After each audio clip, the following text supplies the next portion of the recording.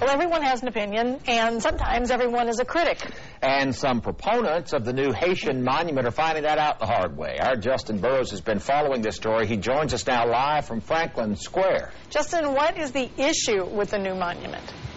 Well, if you take a look at the soldiers depicted in the bronze monument here, the faces are incredibly lifelike. In fact, the sculptor told me he actually used real people that are living today as the examples for the faces, and one of those faces was somebody who donated $120,000 for the completion of this monument, and that has some critics really upset. In fact, they want the faces changed.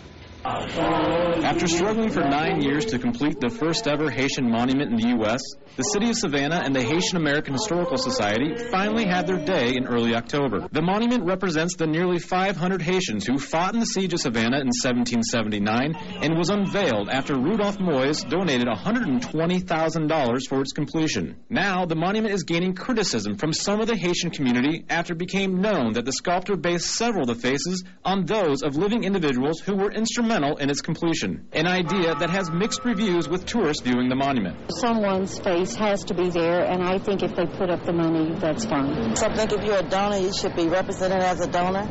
And to look at that sculpture, you would think that it's a representation of the people that actually fought. I don't think the face really matters. I think the story matters. A point Jamal Toure, who has been a part of the process since the beginning and whose face is represented in the monument, agrees with. Along with actually any of the other men whose faces are on the monument, again, it's not about individuals. I don't think any of, no one viewed it as being something about me but it really is about a larger story. Toure says he is honored to be a part of the sculpture and that none of the men represented in it asked to be included. We need to not harbor jealousy and envy. We need to be about the integrity because the monument does touch upon what has occurred here in Savannah and it tells a story. And I think that it is tied to sour grapes and if someone cares to like say otherwise, then I ask them please share the information.